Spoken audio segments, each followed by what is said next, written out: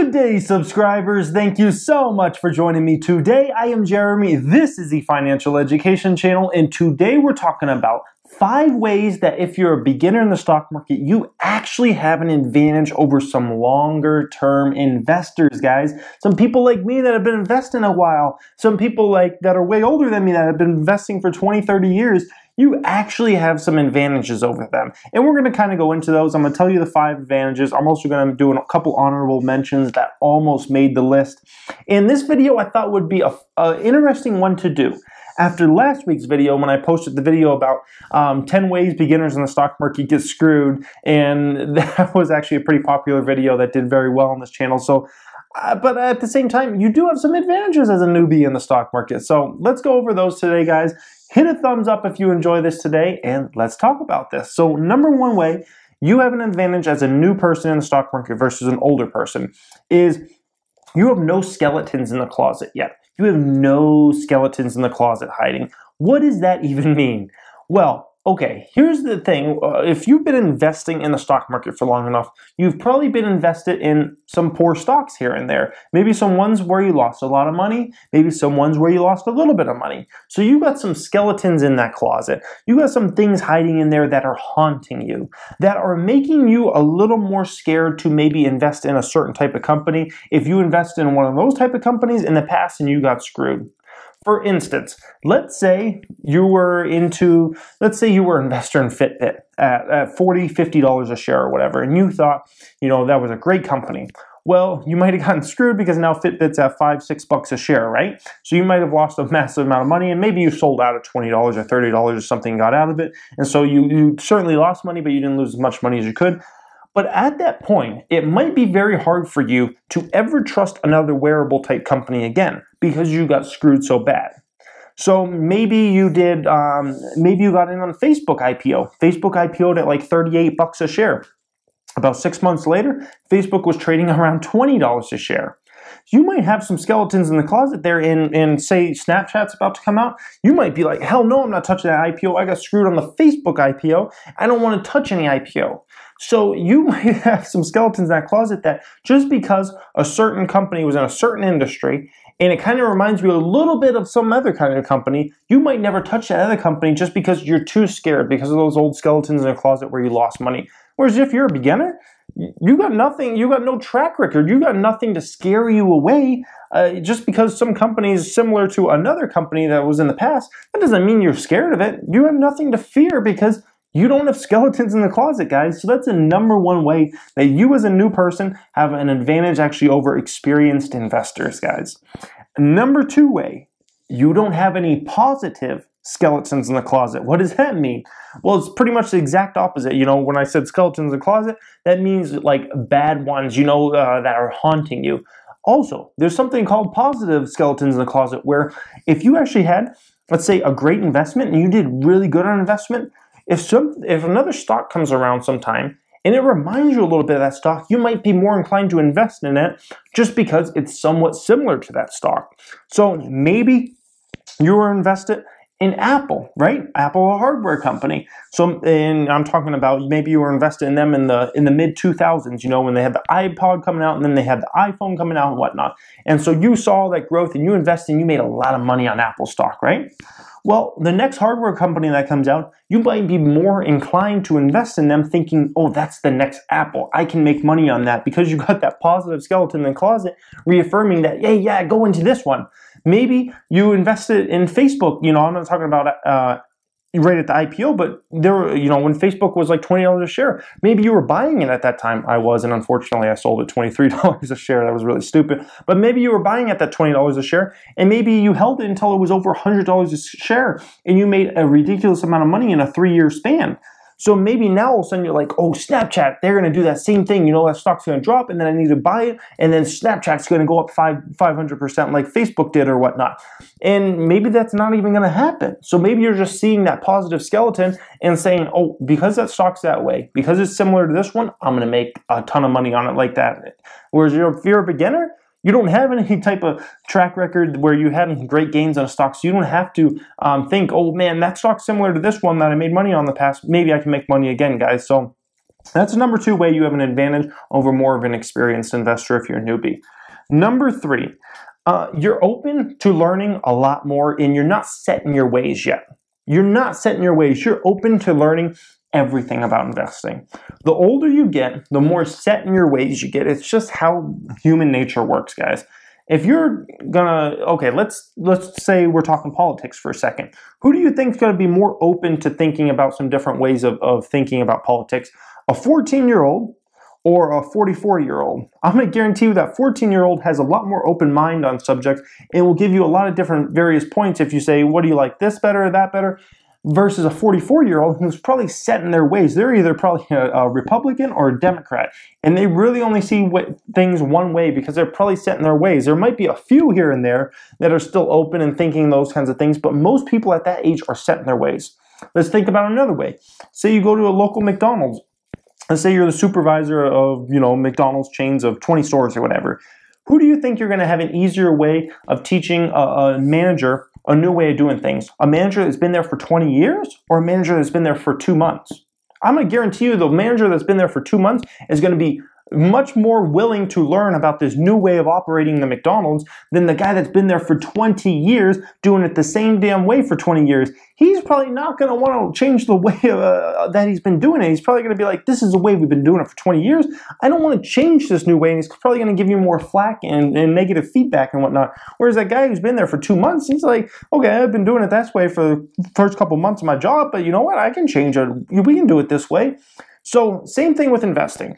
When you are when you're a new a new investor, you're just much more open to all the different ways of investing. You know, whether it be short term, whether it be day trading, whether it be long term investing, whether it be super long term investing like Warren Buffett style, whether it be modern long term investing like I do, which is a one to three year outlook. So you're going to be a lot more open to learning about all these different ways and different ways of thinking about companies, all those kinds of things, guys. So it's a, it's a huge advantage to you as a beginner versus someone that's already set in their ways and they're not going to change. I mean, you think Warren Buffett's going to change the way he, he invests in companies? No, the guy's you know 80 something years old. He made a huge success doing it the way he did it, and he's going to do it that way until he retires or dies, guys. That's the way it is. You know, people just get set in their ways. Number four way you have an advantage as a beginner over experienced people is it's easier than ever to invest. Now, as a beginner in the stock market now, you have an easier path to investing than ever in history of mankind. Never has it been easier. Never, ever, ever has it been easier, guys. Reason being, it's so easy to learn information, guys. Uh, look at this channel. I, I, tell you guys about all these investing tips that I use in my life and all these different ways you can invest and whatnot. YouTube didn't exist prior to 10 years ago. This channel only started in 2016. This, but now all of a sudden this channel's built out and there's a different way for you to learn. You can Google anything you want about the stock market and learn about it in an instant. In an instant, guys, you can Google it. It's like ridiculously easy. You know, back in the day, you might have had to rent a book from the library or something. Now you can buy that book on Amazon in a second on your or buy it on your iPad and read it right then and there, guys. You want to know what a PE ratio is? You can Google it in a second and know exactly what a PE ratio is. You want to know um, what, what Coca-Cola's balance sheet is? Type in Coca-Cola investor relations into Google, click on their page, click on their annual report, and boom, right there, their balance sheet is going to be right in that annual report, showing you exactly what their balance sheet looks like for Coca-Cola. It's never been this easy, guys. It's never. Back in the day, you would have had to like, you know, try to write them a letter, Coca-Cola investor relations, and try to find the address somehow. Write them a letter. Can I have an annual report sent to my house, please? And then they would have to send it to you. It was a mess, guys. And then, never mind that, investing and trading, you do it right on your smartphone now. You can do it right on your iPad, your tablet, whatever, your computer. Back in the day, you would have to like call a broker. Hey, can you uh, please sell me uh, five shares of blah blah blah? That was like ridiculous, guys. That's why investing back in the day it was really only for wealthier type people or retirees. Whereas now, it doesn't matter. You could be an 18 year old with 500 bucks in your pocket. You can be a 50 year old with 50 million dollars in your pocket. It doesn't matter. Everybody's on a level playing field now because information is that easy. You can Google anything you want in a snap of a finger, guys. Information is so easy to get nowadays. So you have a huge advantage. It's easier than ever to pick investments, guys. Easier than it's ever been in history by far, and it's not even close. Number five way you have an advantage as a beginner over advanced investors or people that have been doing it a long time is a lot of times beginner investors are focused more on looking at the business and focus more on looking at what's inside their gut instinct on a stock than, than versus financial metrics. Now, personally, I think you should focus on the business and you should focus on financial metrics. I think that's the best way you'll get the best results. But the bottom line is, when you focus on the business, sometimes that can yield you a lot better results, a lot bigger stock gains than focusing on financial side of things, guys. For instance, there's been so many stocks over the years that I've loved from my gut instinct and from just judging the business, but the financial metrics told me to stay away from that. For instance, Amazon. Holy smokes, I could have made a massive fortune investing in Amazon. I felt so confident in Amazon and it's proved to be right. And their stock just gone up and up and up, but they traded a ridiculous P ratio that I just can't touch it. Tesla, another example, you know, it stock's up, you know, eight, nine times, uh, 800, 900% in the past five, six, seven years, guys. Uh, Netflix, another one I believe did a ton that's up just ridiculous amounts. Uh, Facebook, remember I told you about Facebook at $20? Then I sold it at 23 because I was looking at the financial metrics and I was like, ah, the financial metrics tell me no on this company. So therefore I got to get rid of Facebook. Facebook's up 500, 600% since I sold out, you know, four years ago, guys. So sometimes going with your gut instinct, going with just judging the business and not focusing so much on financial metrics – sometimes it can honestly yield you a lot better results than looking at all those financial metrics. But I still recommend the financial metrics are key in looking at an investment on top of looking at the actual business and going off gut. So those are the five main ones. Now let's do a couple honorable mentions that almost made this list, guys. So number one honorable mention that almost made the list is uh, a lot of times beginners take less risks, which sometimes yields them be- uh, a better chance of not having as big of a loss.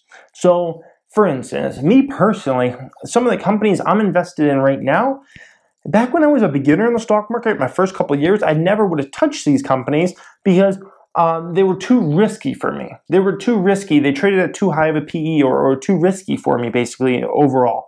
So, years ago, I wouldn't have touched these type of companies. So, therefore, on a position like a GoPro, where I'm down, I don't know, 20, 30% right now on my shares, I never would have even touched that in the first place. I never would have even touched that. So I would never be down that 20 or 30% right now. Now I'm hoping for obviously way bigger gains than something I would have done in the past. But regardless, sometimes beginners of the stock market they stay away from the riskier stocks and they go into more of the of the the Coca-Cola type companies, the, the Johnson & Johnson, the Walmarts, those type companies that are a little safer. And yeah, maybe they don't get as big gains, but at the same time, they don't set themselves up for big losses or to be down big on a position, guys. So that's an advantage beginners in the have.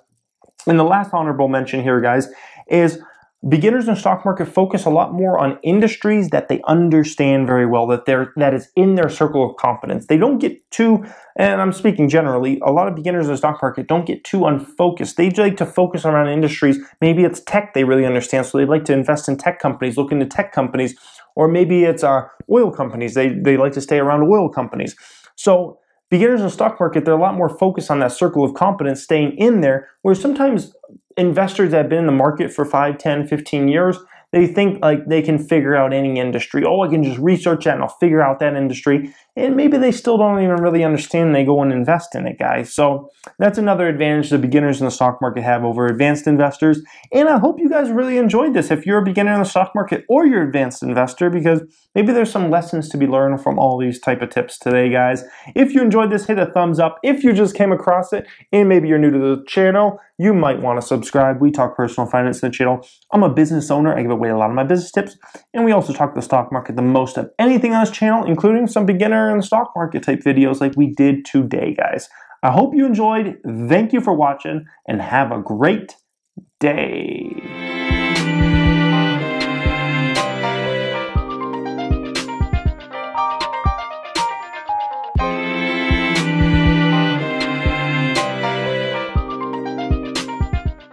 Good day, subscribers. Thank you so much for joining me today. I'm Jeremy. Uh, this is the Financial Education Channel. Today we're talking about. Mm, I can't remember what we're talking about, man.